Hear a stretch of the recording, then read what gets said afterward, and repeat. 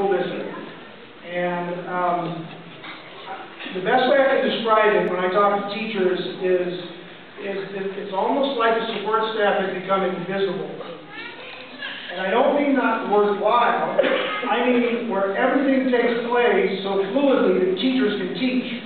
They don't have to worry about technology working because it works, with our technology department. said They don't have to worry about kids not being fed because our, our nutrition services do a great job. They don't have to worry about uh, the secretary, or worry about what's going on in the office, the administrators and secretaries are doing it. They worry about kids getting here safely because they're transported well. And, and so we have a system that's functioning really well. And it doesn't mean we're at a moment when I feel I gotta bang my drum that any of us think we're done.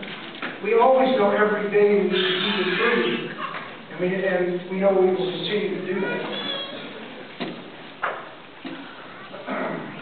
Parents are a huge part of why this community operates the way it does. Our parents know education is a priority. They're here today to support their, their kids.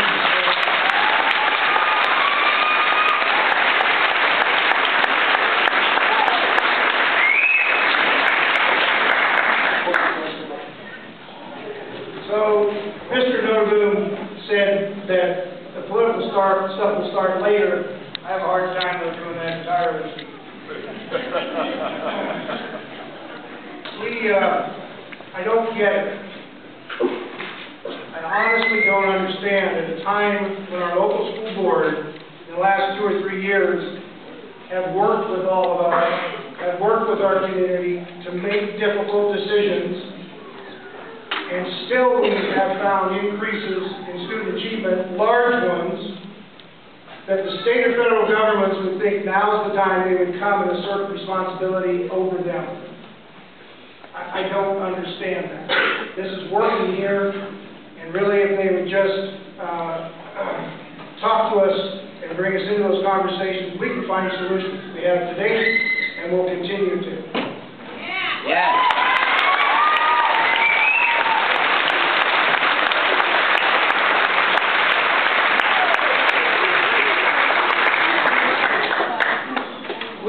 Stay involved.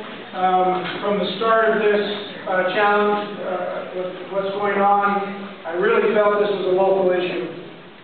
I think our schools are local issues. Um, We are, at work here, the privilege to work in Kuna, are just passing through.